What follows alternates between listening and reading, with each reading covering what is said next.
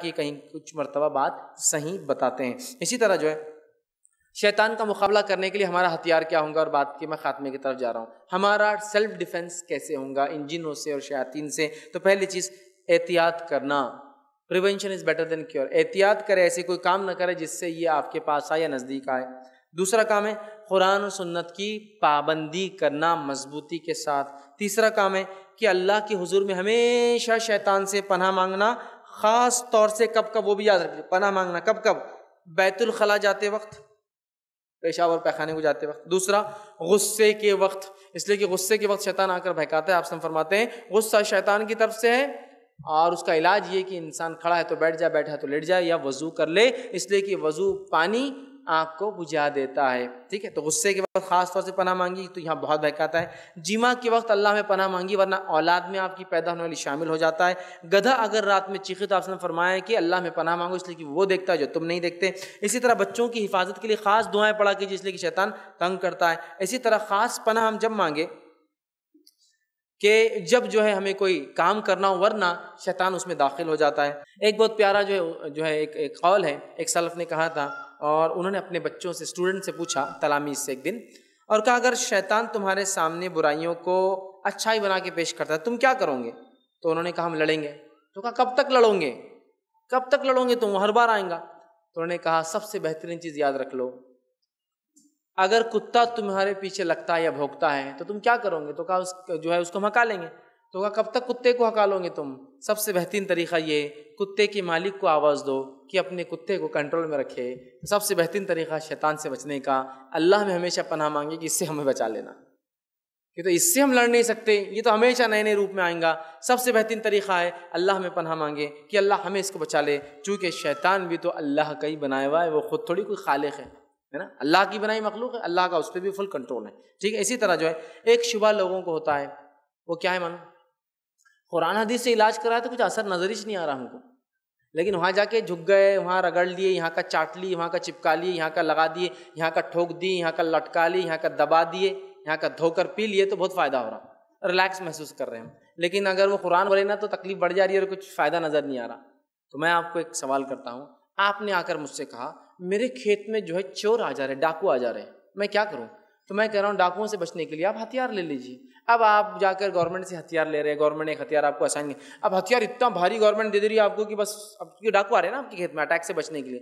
اب مسئلہ یہ کہ میرے ہاتھ میں طاقت نہیں ہتھیار کو اٹھاؤں۔ اور اٹھ بھی جاتا تو چلانا ہی نہیں آتا میرے کو۔ تو غلطی کس کی ہے؟ ہتھیار کی یا چلانے والے کی؟ چلانے والے کی ہے۔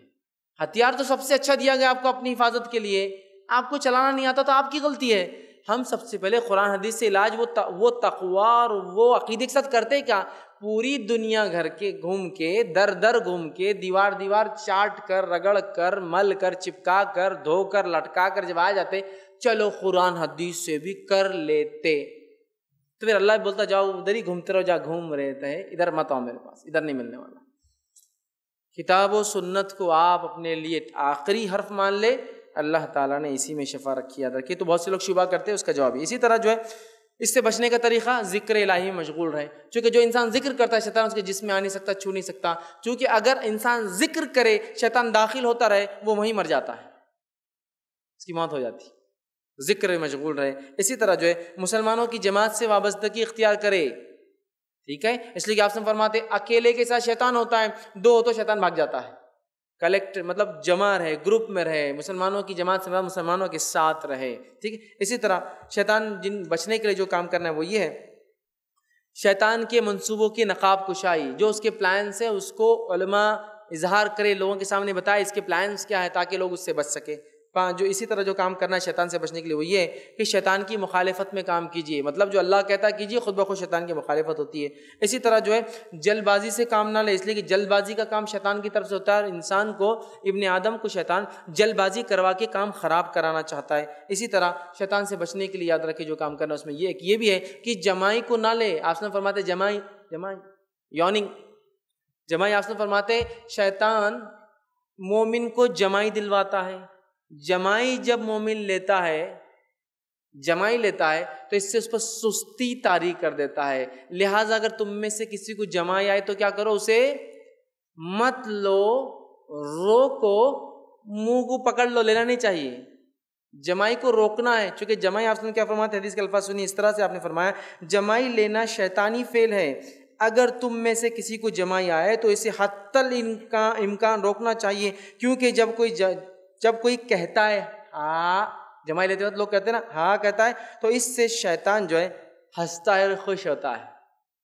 اور آپ کو بتائیں مومن پہ جو شیطان سستی تاریخ کرتا ہے، یہ ایک سائنٹیفک فیکٹ ہے کہ اگر ایک مجمع میں ایک سے دو لوگ جمائی لے تو آٹومیٹیکلی پورا مجمع جمائیاں لینا چالو کر دیتا۔ سائنٹیفک فیکٹ ہے ڈاکٹرز ہوں گے تو ان سے پوچھیے آپ۔ جمائی اگر کوئی ایک آدمی لے مجمع میں تو آٹومیٹیکلی ہاں، سب چالو ہو جاتے۔ تو مومنوں پر سستی تاریخ کرتا ہے۔ اچھا۔ چھینک آئے تو کیا کہنا ہے؟ الحمد للہ مطلب چھینک لینا ہے نا؟ اس لیے تو کہنا ہے۔ حدیث میں کیا ہے؟ چھینک آئے تو جس کو چھینک آئے وہ کہ الحمد للہ سامنے والا جواب دے۔ یرحمک اللہ۔ اور پھر تم اس کو پلٹا کے جواب دو۔ اللہ یہ حدی کہ یہ کم اللہ وسلم بالکم، ٹھیک ہے؟ تو یہ اس کا طریقہ ہے۔ چھینک لینا ہے۔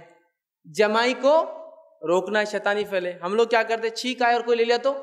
ارے، کیا بیڈ مینرس ہے۔ ٹکٹس نہیں، تم کو مجلس میں چھینک لے رہے چھینک کو لینا ہے اور جمائی لینا نہیں ہے، لیکن جمائی کا تو معاملہ پورے مجموع میں بتا دیں تو ارے نہیں باس بہت تھک گیا میں آج۔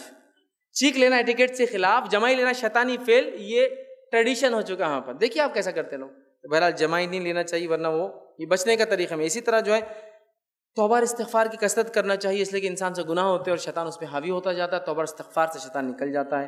اسی طرح جو ہے شک اور شبے کا ازالہ کر دینا چاہیے۔ جب بھی کوئی شک اور شبہ ہو، لوگوں میں فوراً اس کی وضاحت کر دینی چاہیے۔ اسی طرح